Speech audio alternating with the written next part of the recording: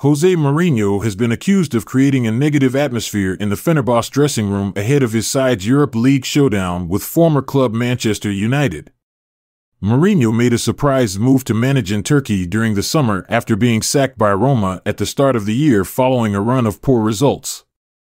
He has so far endured a mixed start to life in Turkey with Fenerbahce fourth in the Super League, eight points adrift of leaders Galatasaray, and so far unbeaten in the Europa League. Sunday's 2-2 draw with Samsunspor means the Turkish Giants are still without a win in October and a Fenerbahce legend has now come out to publicly criticize Mourinho for his impact on the mood at the club. Speaking to Fanatik, former Fenerbahce goalkeeper Volkan Demirel said, Right now, this Fenerbahce team is mixed with unhappiness and hopelessness. Why the unhappiness? Because of the environment they are in. Why the hopelessness? We were all expecting something. We were expecting it from Mourinho. We were expecting it from the transfers that were made. We were saying let's see after the international break, but nothing has changed at the moment, but it will obviously continue like this. We waited to see if we could see a change, a variability, but it didn't happen.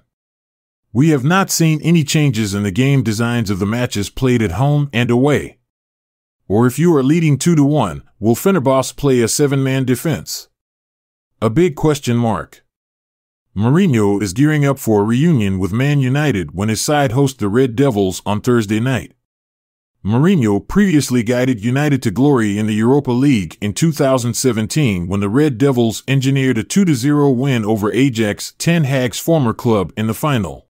The 61-year-old later went on to win the UEFA Conference League with Roma and has previously won the Champions League twice during incredible early career spells at Porto and Inter Milan. Mourinho last took on his former side with Tottenham three years ago, falling to a 3-1 defeat in what ultimately proved to be one of his last matches in charge before departing the Premier League.